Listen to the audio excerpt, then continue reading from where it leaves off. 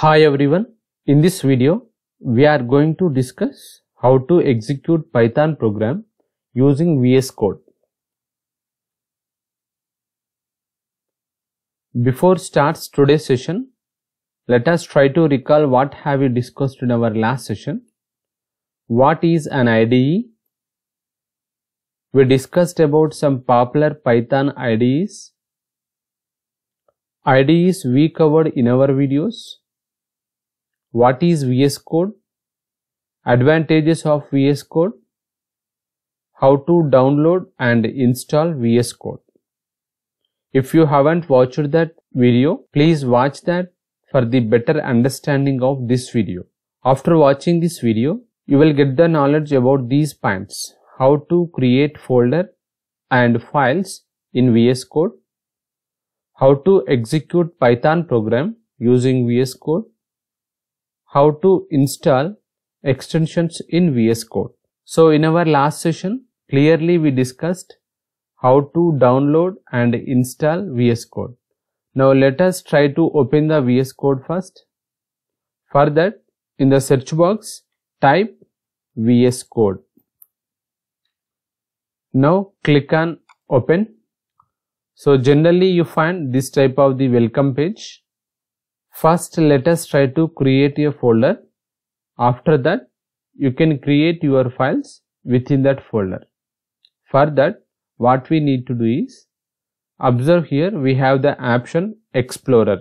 Click on here.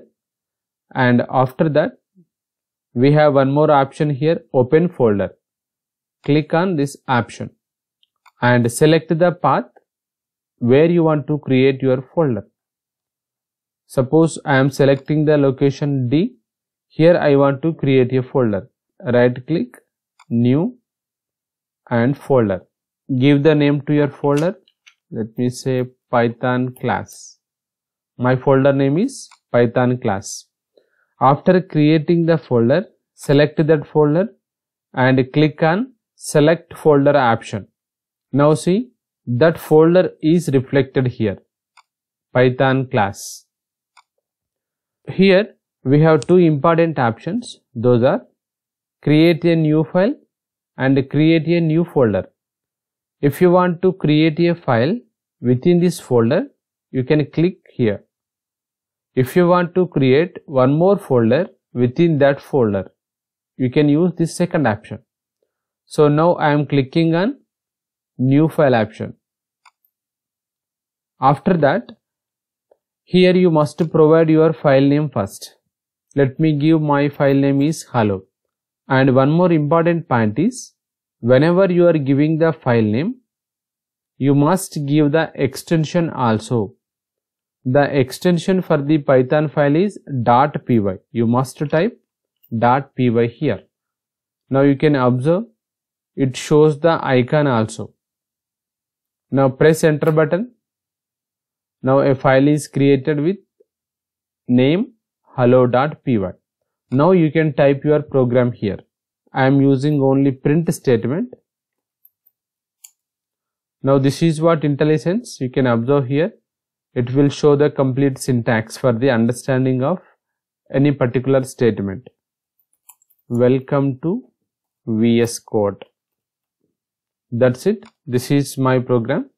Now you can observe a dot here the meaning is this program is not updated in the memory. To reflect those modifications in the memory you must save it again. For that click on file and click on save. Otherwise you can use the shortcut Ctrl s. Now see i am using Ctrl s. The dot will be disappeared. Now you can observe. The meaning is whatever the modifications you have done in your file that will be updated in the memory also. Now writing the code is completed. Now how to execute? For that click on view menu. In that we have the option terminal. You can click on terminal option. Now you can check the path where you saved your file. That path must be matched to this path. Now here we created a folder within the d drive. Within that we saved a file so this path is matched. Now let us try to execute python program. For that we need to use the syntax python space your file name hello.py this is the syntax to execute python program. Python space file name dot py press enter. Now you can observe this is our output. Welcome to vs code. Then if you want to create one more file within the same folder same process again come to here click on new file option. Like this how many files you want to create within that folder that many you can create. Now this is the way how to execute python program without extensions. So we have one more important option here extensions. Click on this option you can observe so many extensions are here. Depending on your requirement depending on language with which you are working you can install the required extensions. With help of these extensions you can develop and execute your program efficiently. Suppose if you want to execute python program without using the terminal you can do that. With help of the extensions you can run the python without help of the terminal also for that you need to write the program. And when you install executed related extensions a button is created here. Observe here we have a button. Just like a play button run button. When you click on this button automatically the program will be executed. Now see this is the output of our program. But by default you may not get this. If you want to get this run button you must install the python relevant extensions like code runner or python IntelliSense. Now you can observe here this Python is extension. If you install this that will give the IntelliSense. Just we have seen the syntactical rules of complete print when you are typing that. That type of the IntelliSense you can find. Then here we have one more option settings. If you want to change the themes or font size etc you can do that check all the options what we have in the settings and here we have one more important option keyboard shortcuts. All the keyboard shortcuts are placed here. You can go through this. Depending on your requirement you can use this. Then suppose if you want to execute a python program without creating the folder also you can. For that go to file select new text file. Click on that and a file is created in this case we are not providing the extension at the time of the creating the file. A text file is created, start typing of your program. Let me write a simple statement, print welcome to Python. Now we need to save this.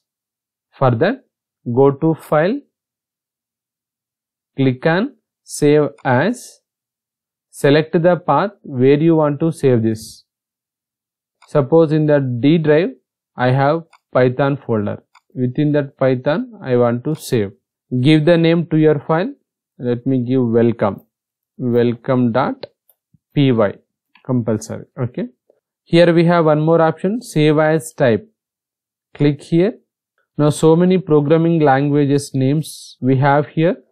We can execute this many programming languages with help of the vs code or python javascript Java, you can observe here. We need to select Python because our code is Python related code. Then click on save button. Now you can observe welcome.py. So for the execution, you can use terminal. Otherwise, if you install the extensions, you can use this run button. Now see, welcome to Python.